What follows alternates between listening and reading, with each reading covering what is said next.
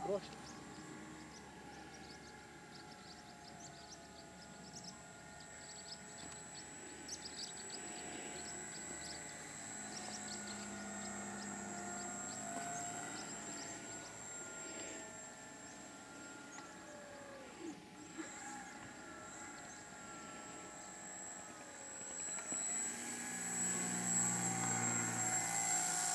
Next to my dog, I feel like